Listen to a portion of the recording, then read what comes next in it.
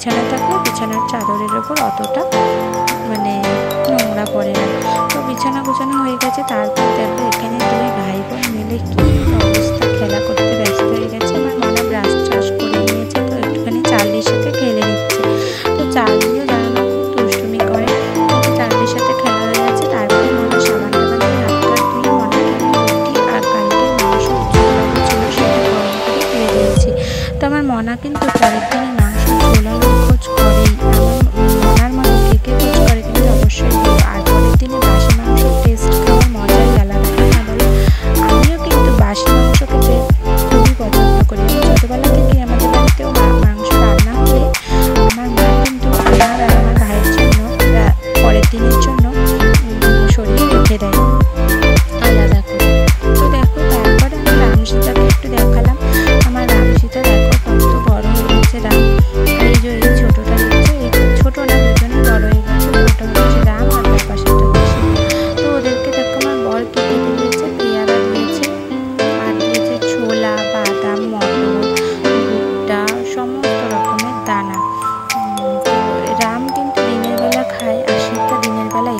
খেতে চায় না সীতা কিন্তু একদম রাত্রেবেলায় খায়।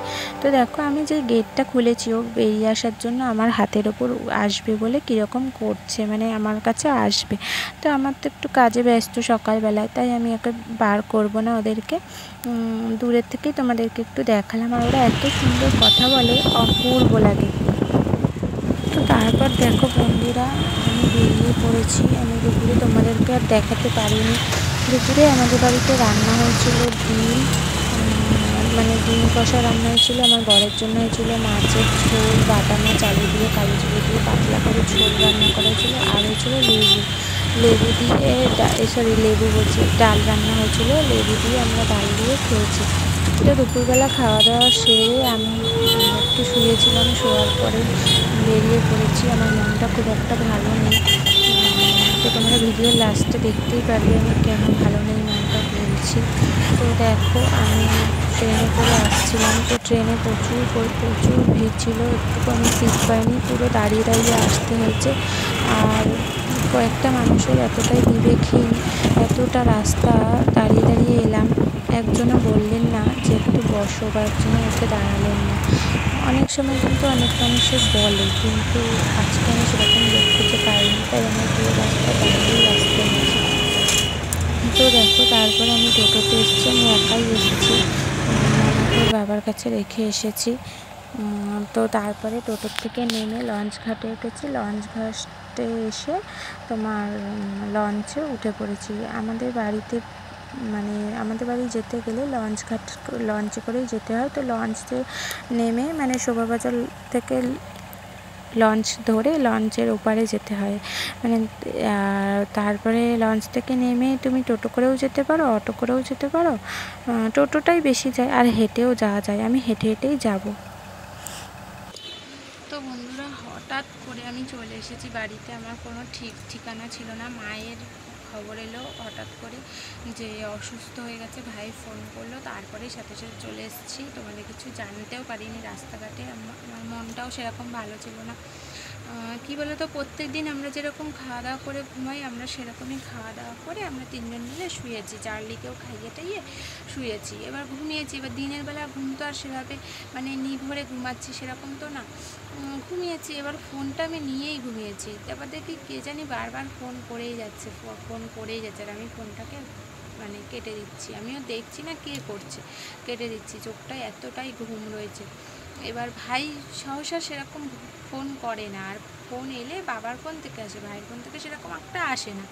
তো এবারে দেখি কি, ফোন আসছে, কেটে দিচ্ছি, ফোন আসছে, কেটে দিচ্ছি। আমি দেখছি বারবার কে করছে, ফোনটা ধরে দেখি কি, ভাই। আর আমার শুয়ে না মনের মধ্যে একটা কিরম হচ্ছে যে, এতবার ফোন করছে, কেউ কি অসুস্থ হলো?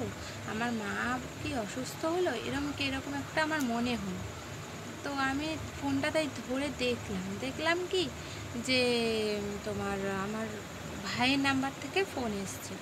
তো দেখ ভাই ভাই বলে লেখা। তারপরে আমি ফোনটা ধরেছি সাথে সাথে। আমি বলছি হ্যাঁ বল। তখন ভাই বলল কি যে, দিদি, মা হসপিটালে ভর্তি।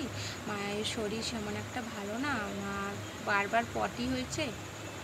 অনেকবার পটি হয়েছে, শরীর অসুস্থ। বাবা আর আমি মাকে হসপিটালে ভর্তি করতে এসেছি। তো আমি বলছি, বাবা বাবা, তুই হসপিটালে ভর্তি করতে এসেছিস? বলছে হ্যাঁ। তো বাবার ভাই গেছে হসপিটালে ভর্তি করতে। তাই আমি বললাম ঠিক আছে। তো এবার আমার বরকেও সব বললাম। এবার আমার বর বলছে তুমি তাহলে এক্ষুনি চলে যাও। আর যদি এখন না যাও কাল সকালবেলায় চলে যাও। তো আমি বলছি দুজন মিলে গিয়ে লাভ নেই। কাজের দিকটাও তো দেখতে হবে। আমি একাই চাই তাই আমি একাই চলে এসেছি। ছেলেকে রেখে এসেছি। তো তারপরে এসে এলাম। তাড়াহুড়ো করে এসেছি। একাই এসেছি। মনাকে নিয়ে আসিনি? মনাকে এমনি ভিডিওতে? ইউটিউবে ভিডিও ছাড়ি না সেইটা। ইউটিউবে ভিডিও ছাড়ি। তো এবার সেই তোমার মনাকেও নিয়ে আসিনি। ওর বাবা বলছে, মনাকে নিয়ে যেতে হবে না? তাহলে মনা ওখানে এমনিও গরম, কলকাতাতে তো প্রচুর গরম। তারপর তুমি, যেহেতু মায়ের শরীর ভালো না, দৌড়াদৌড়ি করবে, তুমিও রান্নার দিকেও থাকবে দরকার নেই, মনা আমার কাছে ভালো থাকবে। তারপর মনাও বুঝে গেছে, মনে যেহেতু একটু বড় হয়েছে, আর আমার মনা ছোটোর থেকেই অনেকটা বোঝে, খুব বুদ্ধিমান। তো বাড়িতেই রয়েছে মনা, ওর বাবার সাথে।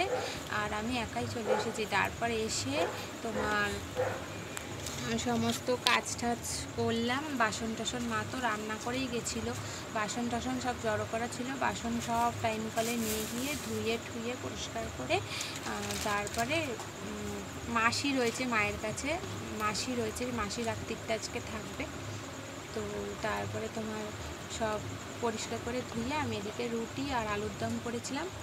তো রুটি আলুর দম করেছিলাম। রুটি আলুর দমটা মায়ের জন্য, এই মায়ের জন্য না, মাকে ওখান থেকে খাবার দিয়ে যাবে মা সেই খাবারটাই খাবে। আর স্যালাইন চলছে যদি খাবার নাও দেয়, স্যালাইন চলছে খাবার নাও দিতে পারে। আর মাসির জন্য রুটি আলুর দম পাঠিয়ে দিয়েছি। আর একটা শাড়ি পাঠিয়ে দিয়েছি মায়ের যদি লাগে। তো আমি কাল সকালে যাব। ভাই দিয়ে এলো। তো আমি এই রাত্রে আর যাইনি। কারণ ভাই বলছে এত রাত্রে তোর আর যেতে হবে না, কারণ টোটো টোটো যদি না পাই, তাই আমি আর যাইনি। তো কালকে সকালে যাব।